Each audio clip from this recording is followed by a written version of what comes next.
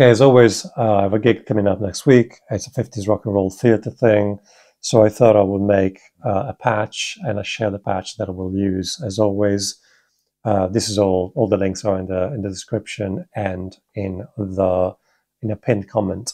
So um, this is, again, as I said, it's a 50s rock and roll thing. Um, and the basic sound,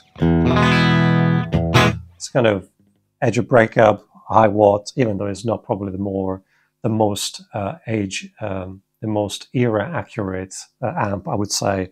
But I, I quite like that amp uh, as in just a, just a single block. Um, then I have a compressor, and I think this is a little bit of a trick in terms of, to me, a, a tiny bit of compression makes it feel a bit more like a real amp, quotation marks. Um, because it gives that kind of spongy feeling, to speak. So it gives you a bit of more of a tool, tube feel. Then I have uh, a uh, spring reverb. And then I have Gary check turn on and off. Then I have a slapback echo. Which is obviously that 50 sound. Uh, usually it's about 150 milliseconds, so that's you know that's the trick really. If you want to have a slapback with a, a tiny bit of repetition, but not uh, the feedback can be too uh, too. It cannot have too many repetitions, so to speak. Um, then is the 60s uh, up to tremolo.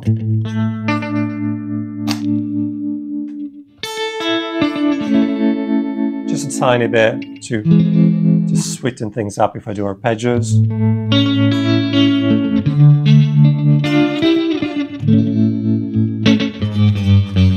That kind of stuff, so to speak. Um, then there are a couple of slightly more modern sections, so I have a, a slight overdrive, you know, and uh, and again just a gain.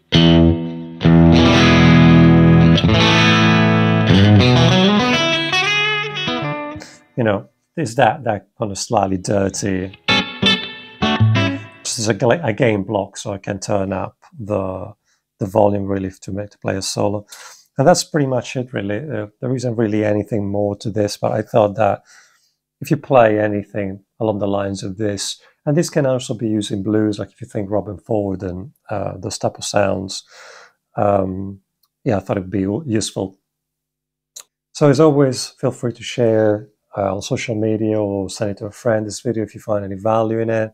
And remember that all the stuff is in the description. The links for these sounds is a, is a zip file that you can download.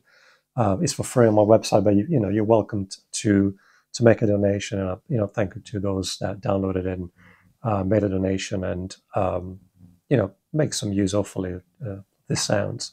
Uh, as always, if you find it useful, share, like, subscribe, the usual stuff. All right, take care. Bye bye.